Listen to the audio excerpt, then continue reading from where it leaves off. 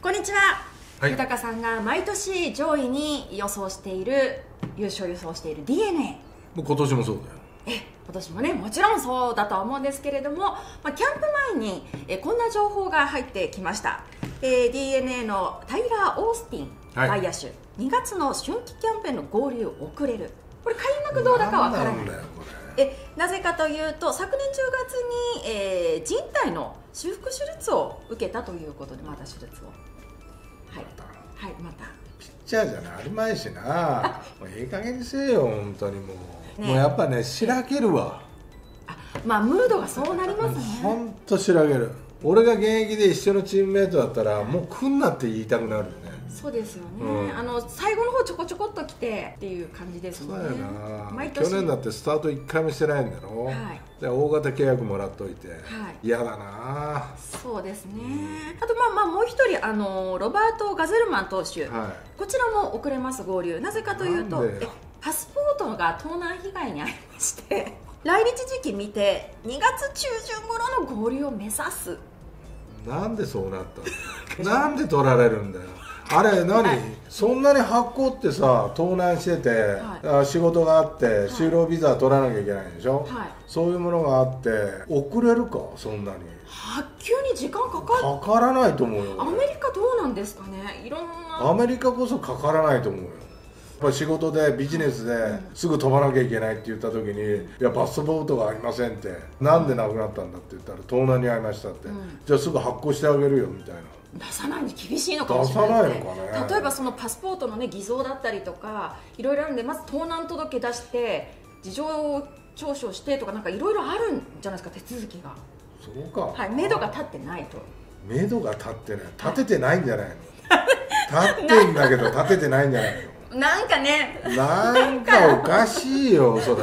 パスポートはさ、はい。まあ確かに大事なものだよ身はい。分を証明する、はい。国が違ってその入国の相手国にこう提示をし、はい。証明するもんだからさ、それはなそれは簡単ではないと思うけど、はい。でも仕事で行くわけでしょ、はい。仕事で来るわけでしょ、なくすのはもうしょうがないよ。これはもう治安の悪いところに住んでるのかもわからないし、それはしょうがないにしても発行になってくると事情を言えばいやそれだったらっていうふうにしてくれると思うんだけどね。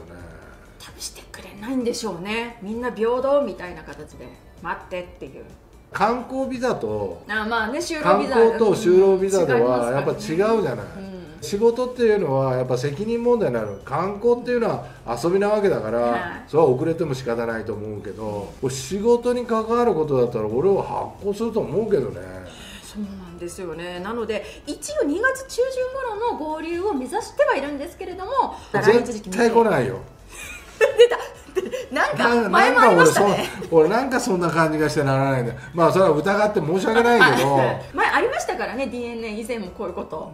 まあ、D あれはやっぱり日本の方が悪くてあこっちが悪くて、ね。あのコロナの関係でね最初に申請をしてしてなきゃいけなかったのがちょっと申請が遅れて1か月間まあ入れなかったんだよね、その前のあのキューバの選手こ結局来なかったっていう兄弟で。あなんかあったね、はい、キューバから結局メジャーに行ってしまったっていう DNA なんかそういう裏切られ方が。どうかわからないけどさ、、はい。やオースティンもいかんぞ。これはもう毎年手術だもん。フルで出たことって最初からいや最初はあるよ。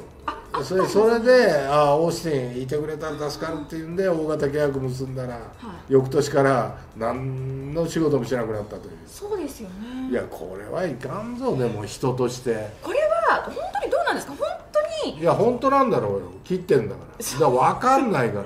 ちょこちょこ切るものなんですか？毎年毎年。いやバッターがです。もう投げなくてもいいから出ろって言いたくなるよね。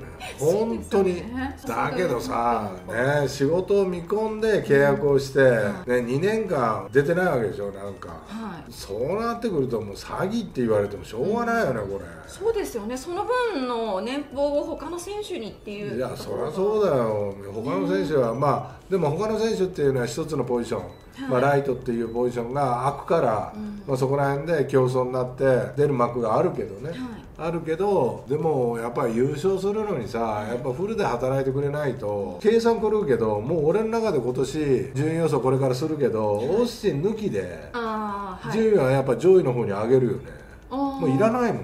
もう、もう計算入れてないもんそうですよね、でやっぱりそのファン,、ね、ファンの方も毎年こうだよねっていうふうにな。なってますからね今いや俺はもうどらし上げてるけどねオースティンのとこ行ってアメリカ行ってお前って本気かみたいな。それ球団は言ってるんいや言ってると思うよそらそらさまあ2億だろうがって発表はそうなってるけど、はいその金がさ毎年毎年さ水のように消えていくって、それはもうたまったもんじゃないよねでなんか裏を書いてしまうと例えばオースティン選手が他の球団と高額契約を結びたいから最終年だけ頑張って他行くのかなとか逆に仕事をしないでおいてそれは見え見えだもんな、出て他の球団がどっか取りたいところがあるとか、まあ、そんなやつはねどこ行ったってダメだよ多分そうでしょうっていうふうに俺は信じるけど、うん。そういうやつに限っていい成績残したりとかするんだよ。もうカリカリカリカリカリしてるそうですいやよねだけどそれはいかんぞお前2億の金って。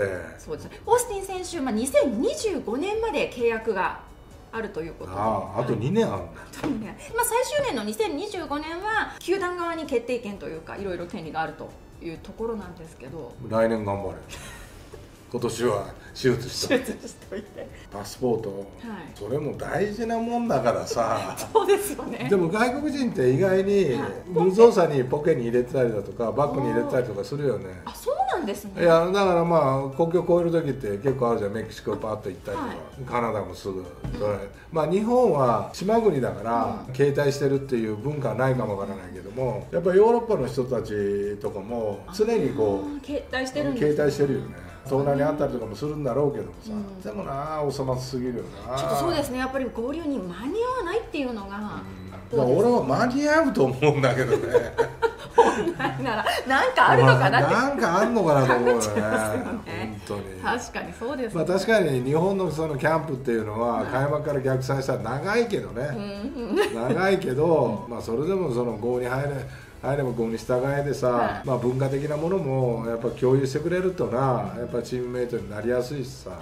まあ、でもこのグセルマン投手はとりあえずまあ遅れても、まあ、今シーズン多分さ用意どんで最初からスタートはできそうなので一応期待はまた手術するかも投開幕直前に。かあちょっとおかしいとか。頼むよみたいな。契約した途端。やっぱ長期契約大型契約って怖いな。これが単年でそれだったら手術本当にしてんのかっていう疑っちゃいけないけどさなんか疑いたくなるようなね。そうですよね。2年連続だもん。確かに。もうオースティン選手がずっとその開幕からフルでやってもらってたら d n a 優勝だったり確実にっていうものって可能性はあるよね、うん。そのぐらいの選手ですもんね、うん、可能性は握ってる。でももう計算に入れないけどね。もう入れない。もう入れない。うん。じゃあオースティン選手のあそこのポジションだったり打順だったりは他の選手で今シーズンもうもう補ってほしいと思ういやだからそのオースティンにないものを持ってる選手たち。うん。まあ例えばそのパワーだったら負けるけど、うん。この走塁だったら負けないとかさ、はい。で守備もオースティンがこのぐらいだったらいやその倍ぐらい動けるよみたいな、うん。まあ、そういうので補ってきたよね。オースティンの代わりはいないのは分かってるんだけどそれを補えるようなねはい。別のものがあるといいよね。まあ、日本人でまあもちろんもうもう日本人がいい。献身的だし ですね。うん。耐久性あるし。そうですね。で、うん。がむしゃらにねそこのポジションやっぱり掴んでいこうとします。からね。ちょっと d n a キャンプ前からドタバタありますけれども。ドタバタ、はい。まあ、桑原が引っ張ってくれるよ。お小原選手が引っ張ってくる。というのは、まあこの後動画が流れると思うから。おあ何かの桑原選手と？あまあまあ対談があるからね。あ楽しみ。豊さんそういえばねそう。行ってきたんですよね。立山あったかいですよ。来てくださいみたいな、12年間ぐらい行ってて一番寒い日に行ったという寒かったですか？とんでもなく寒かった。まあただねちょっといろんな話ができたということなので、まあまあそうそうね。なぜ怒るかとかね。ファインプレーした後に、まあ、そういう話も聞いてきた。あその動画を楽しみにねしていただければと思います、